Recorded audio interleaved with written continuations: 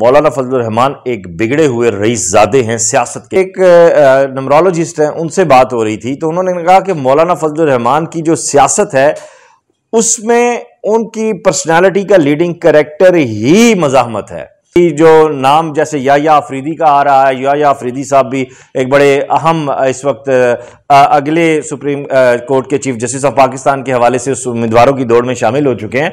तो ये मौलाना ने वो तुरुप का पत्ता बीच में डाल दिया। उसके बाद और उस शख्सियत का नाम भी मौलाना ने बड़े मज़े से लिया और बताया कि जनाब इस आइनी तरमीम के पीछे कौन है। बहरा तरीके इंसाफ का एहतजाज है। बाद अज नमाज़ जुमा पूरे पाकिस्तान में उसको बहुत ज़्यादा फेवर होने वाली है पाकिस्तान तहरीक इंसाफ के वोटर और सपोर्टर के लिए। रात गई ये जो मुलाकात है जिस रहीम महमद वाली मोहम्मद में वकास अज़ीज़। दोस्तों, आपको अपने ऑफिशियल यूट्यूब चैनल में खुश आमदीद कहता हूँ।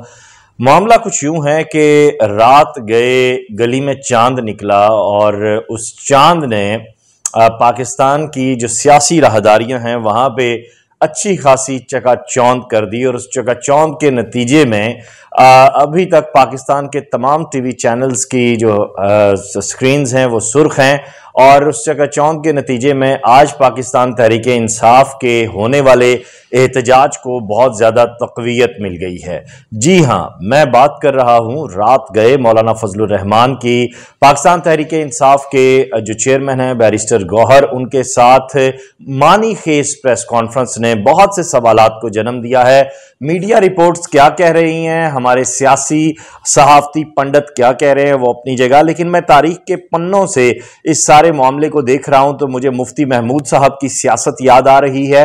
मुझे उनके सियासी नज़रियात याद आ रहे हैं। मुझे उनकी उस वक्त की अपोजिशन और जमात इस्लामी के साथ बैठकें और भुट्टो साहब के साथ जो उनके मामला थे, वो याद आ रहे हैं। और वैसे ही आज मौलाना फजल रहमान की आइनी तरमीम के मामले पे दो रोज़ कबल, यानी 48 घंटे कबल कराची में बिलावल भुट्टो जरदारी से मुलाकात और कल फिर नवाज़ शरीफ साहब से लाहौर में जाती उम्र में, फिर आसिफ अली जरदारी साहब से मुलाकात और रात गए, फिर उन्होंने वो चंद चढ़ा दिया जिसकी किसी को उम्मीद नहीं थी।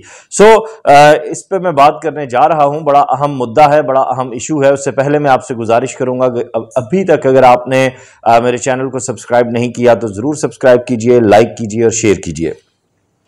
रात गए ये प्रेस कॉन्फ्रेंस हुई, लेकिन उससे पहले आप स्क्रीन पे देख रहे हैं, ये पाकिस्तान के वज़ीर अजम मियाँ मोहम्मद शहबाज शरीफ साहब की बगैर प्रोटोकॉल मौलाना फजल रहमान साहब के घर आमद है, और इसमें बड़ी अहम मजीद शख्सियात भी उनके साथ मौजूद थी हुकूमती शख्सियात मौजूद थी। मुझे उस बारे में ज़्यादा तफसील में जाने की ज़रूरत नहीं है। बहरहाल मामला ये था कि आइनी तरामीम के जो मुजवज़ा मुसवदे के हवाले से एक कहानी है उसमें मौलाना फजल रहमान को राज़ी किया जा सके। दूसरी जानब आज सैनट के अजलास में जो एजेंडा है, उसमें आइनी तरामीम का कोई मामला नहीं है, जबकि कौमी असम्बली का जो अजलास है, उसमें ये मामला मौजूद है। उसके साथ साथ पाकिस्तान हाउसिंग एंड वर्क्स जो अथॉरिटी है, उसके क़्याम के हवाले से भी बड़ा अहम मुसवदा है। उसमें यकीनन एफ़ जी एच ए के हवाले से, पी एच ए के हवाले से और वजारत हाउसिंग के हवाले से बड़ा अहम फैसला होने जा रहा है और ये एजेंडा आगे मुस्तबिल में क्या गुल खिलाता है ये तो आगे चल के देखेंगे क्योंकि एफ़ जी एच ए में भी बड़े काबिल अफसरान मौजूद हैं और एफ़ जी एच ए की सरबराही भी एक अच्छी शख्सियत के हाथ में है। आ, इसी तरह पी एच ए की अगर हम बात करें तो पी एच ए की सरबराही भी बड़ी अच्छी हाथों में है और फिर उसमें भी बड़े अच्छे अफसरान मौजूद हैं। एफ़ जी ए और हाउसिंग में बड़ी काबिल शख्सियात सेक्रेटरी साहब जॉइंट सेक्रेटरी साहब और दीगर जो लोग हैं। खैर ये आगे देखते हैं कि ये ऊँट किस करवट बैठता है। अभी सियासी मंजरनामे की बात करते हैं। मौलाना फजल रहमान ने जो चंद चढ़ाया है रात को बेसिकली मौलाना फजल रहमान की अगर मैं सियासी कैरियर का जायज़ा लूँ और रात की इस जो उन्होंने शनाख्त परेड करवाई है, उसके ऊपर अगर मैं बात करूँ तो मौलाना फजल रहमान एक बिगड़े हुए रईस ज़ादे हैं सियासत के ईवान में। मुझे अदब के साथ ये क्या लेने दीजिए? मेरे मेरे लिए काबिल एहतराम है और मैं मौलाना से बहुत प्यार करता हूँ और वो एक ऐसे सियासतदान के तौर पर सामने आते हैं कभी कभी जो इंतहाई जीरक है, इंतहाई समझदार है और जिसका काम ही सियासत की उलझी हुई गुत्थियों को सुलझाना है और कभी बिगड़े हुए बच्चे की तरह आते हैं जिसने इंतहाई रूट के लाड करके, चीख पुकार करके अपनी बात को मनवाना ही मनवाना है।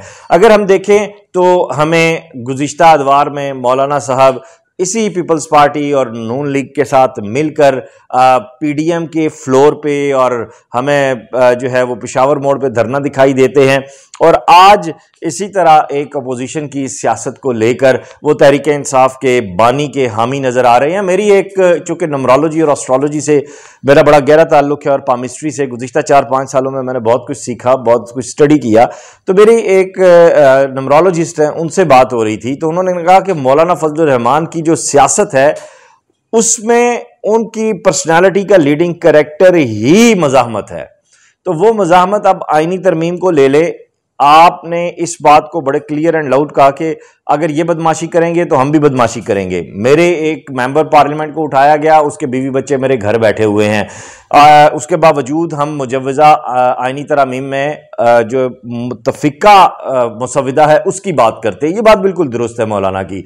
फिर मौलाना ने दूसरी दुरुस्त बात की कि इसमें पाकिस्तान बार काउंसिल के नुमाइंदगान को होना चाहिए, क्योंकि वो भी पाकिस्तान के स्टेक होल्डर हैं। ये जीरकी है, क्योंकि वो लोग अगर बीच में आएँगे तो फिर सुप्रीम कोर्ट में जो बहुत सारे मामला होते हैं और फिर अगले चीफ जस्टिस की जो नाम, जैसे या अफरीदी का आ रहा है या अफरीदी साहब भी एक बड़े अहम इस वक्त अगले सुप्रीम कोर्ट के चीफ जस्टिस ऑफ़ पाकिस्तान के हवाले से उस उम्मीदवारों की दौड़ में शामिल हो चुके हैं।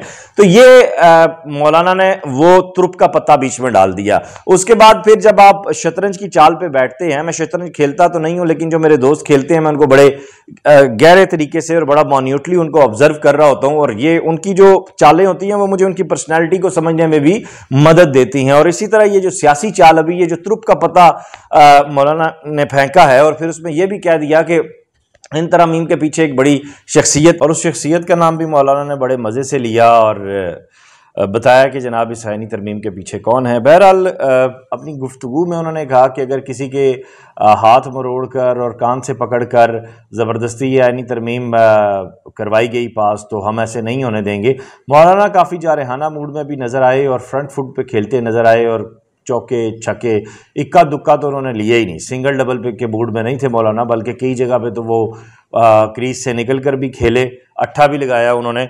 और उनके इस सारे मामले का मैं ये समझ रहा हूँ कि आज जो पाकिस्तान तहरीक इंसाफ का एहतजाज है, बाद अज नमाज़ जुमा पूरे पाकिस्तान में, उसको बहुत ज़्यादा फेवर होने वाली है पाकिस्तान तहरीक इंसाफ के वोटर और सपोर्टर के लिए। रात गई ये जो मुलाकात है, जिस तरह मैंने पहले भी कहा कि बहुत से हल्के अब ये कह रहे हैं कि पाकिस्तान तहरीक इंसाफ के मैंटोर मौलाना फजलरहमान बन रहे हैं।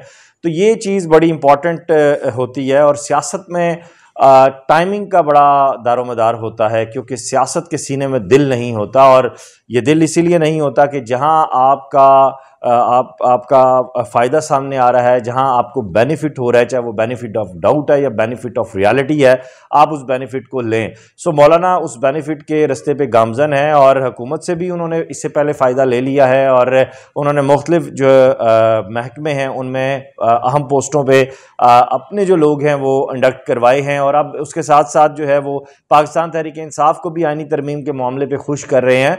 ये देखने की ज़रूरत है कि मौलाना फजल रहमान के पीछे कौन कौन है? इसका मौलाना फजल रहमान के पीछे इस सारी गेम का मास्टरमाइंड कौन है? अमूमन जो है वो आसिफ अली जरदारी ही देखने में आते हैं। लेकिन आपकी बार जो है ये देखने की ज़रूरत है कि एक बहुत बड़ा समट हुआ पाकिस्तान में और उसके फ़ौर बाद अब ये चीज़ें सामने आ रही हैं। पाकिस्तान तहरीक इंसाफ ने समट के दौरान पर पंद्रह अक्टूबर को जो एहतजाज की कॉल दी थी, वो अच्छी बात है, उन्होंने वापस ली और अब आज अट्ठारह अक्टूबर को एहतजाज करने जा रहे हैं और इस एहतजाज का मकसद पाकिस्तान तहरीक इंसाफ के बानी चेयरमैन इमरान खान की रिहाई है। नौ मई में जो गिरफ्तारियाँ हैं, उसके साथ साथ उनके जो आइनी और जो जमहूरी हकूक़ हैं, उसकी बहाली के लिए पाकिस्तान तहरीक इंसाफ एहतजाज कर रही है। लेकिन यहाँ ये देखने की भी ज़रूरत ज़रूरत है कि कल रावलपिंडी में तलबा का बड़े पैमाने पर एहतजाज हुआ तोड़ फोड़ हुई और ये भी मुख्तलिफ़ ज़रा ये कह रहे थे कि इस सब के पीछे भी पाकिस्तान तहरीक इंसाफ हो सकती है मुबैना तौर पर।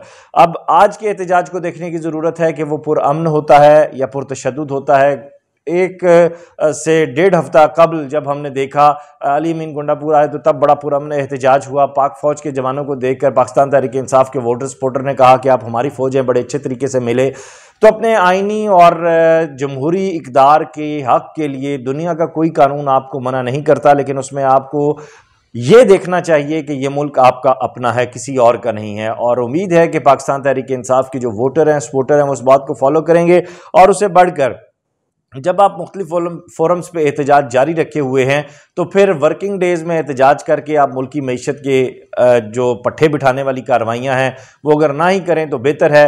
हाँ जो भी होता है, उसका मुद्दा रावलपिंडी इस्लामाबाद के शहरीों के सर पे आके गिरता है। अब अगर ये जुमे को शुरू हो रहा है तो फिर हफ़्ता इतवार तीन दिन हमारे जो इस शहर में है, वो तो दरियाबुर्द हो गए।